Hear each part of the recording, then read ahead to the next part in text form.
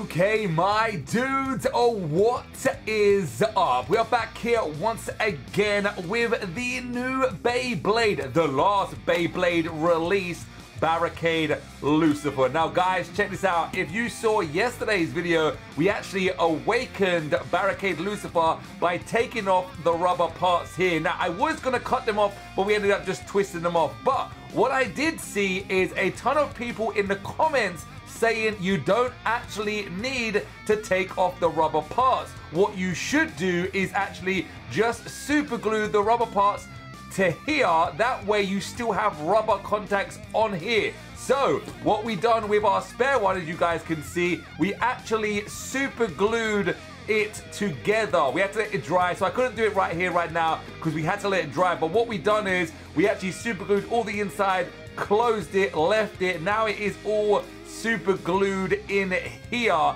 and hopefully fingers crossed it still should perform good. So basically, we're gonna have both Beyblades tested out. If you guys did miss this one, definitely go and check that out because it's awesome. But we're gonna do both testing here again and hopefully, fingers crossed, this is good because it is kind of true. It is better to have more around the Beyblade with some rubber parts on there. And the only reason why these are bad in the normal stock combo is they come out and that's what really messes it up. So we're to get the stadium out once again, straight into the testing on this. I'm really curious, man. I do want to say a big thank you to everyone in the comments below for actually uh, letting us know that a, a, super gluing thing was actually a good idea. So uh, gonna check this out now. So this is the one we done yesterday. Not gonna do that first. We're gonna do this one first. So the first thing I'm gonna do is just launch it so we can actually see and there you go. You can see now that the barricade gimmick is stuck in. And like I said, all you had to do was super glue them to the layer or the blade. And uh, this is what you should get. Now, does it perform better than this? We're about to find out. In the comments below, before we do that, let us know what would you do if this was your Beyblade? Because I'm telling you right now, you don't want these coming out. It made it bad. Like, it, it really wasn't good. So one or two things to make this Beyblade good is either going to be taking them off or super gluing them together like that. How will they last? I don't know. Will the Beyblades that battle against this reopen it back up? Hopefully, fingers crossed, it doesn't. But uh, let's find out. So, you guys know Valkyrie. It has to be Valkyrie, right? Valkyrie is always my first Beyblade to test out against any Bey. So uh, that's like that's like just that's religion. We have to just do that. Like, all right, there you go. There is the awesome Lucifer, and as you guys can see, we are battling with Ultimate Valkyrie. Now I'm hoping we do get to see it still performing pretty good. Um, eh, do you know what, guys? I'm liking it so far, and oh my dudes, there you go. So what I will do is I'll battle this one now without the rubber and we can see the performance of both bays in the stadium against the same Beyblade of Valkyrie. Here we go. Let's see now how this one performs. I feel like the reason why this might actually be better, where it's rubber, it's going to absorb some attacks as well, which is a good thing. But here we go, nice big smash attacks right there by Valkyrie. Really testing it out. Again, it does defeat it, man. Um, so you guys can see uh, anything is better than them coming out. But so far, so good with that. Not coming apart. Do you know what? I got to test it against this. Yesterday, this one, I'm very curious to now see if the rubber glued on will still be able to beat it. So, there you go. Now we'll get the Hello Kitty blade, Beyblade in there. And we will see if the one with the rubber is able to defeat it. I feel like there's more maybe, I was going to say stability as soon as that happens, but definitely no more stability on there. But as you guys can see, the driver height makes the Beyblade so much more taller, but it still has a whole bunch of balance, which is good. So this is definitely taller than normal drivers. We already know that. Like, we already know that. So you can see it when it's going side to side, when it's battling. Now, this is, uh, we're not to do, I'm not to battle this one against Hello Kitty, because we already saw that. But I am going to battle it against Fafnir. Now, this is the question that I've got. Is it going to be able to beat Fafnir? Yesterday, it was a draw. But now both of them will actually have rubber on. Let me, oh, actually, let me actually just get Fafnir lock loaded and ready on in here. But even though we can spin still, we don't even need to launch it hard or fast, to be honest with you. But there you go. So, let's do this. Got that in there. We're to get Fafnir up in here now. And now this is where we're to see we have rubber on Lucifer. Obviously, Fafnir is known to be like the rubber Beyblade king of them all. And you can hear straight away the Beyblade. It's, it's attacking underneath, man. Holy moly. So it was a draw yesterday with the other one. And it's spin stealing the rubber. It's a draw again. It, it's a draw again, man. These two are like the ultimate spin stealing masters. Do you know what, guys? I have a feeling that if you was to put this driver on Fafnir, it would be like the best Beyblade ever. Possibly. This driver's a lot better than I thought it was going to be. Do you know what I am going to do? Let's do a rematch. Do one with no rubber on there against a Fafnir.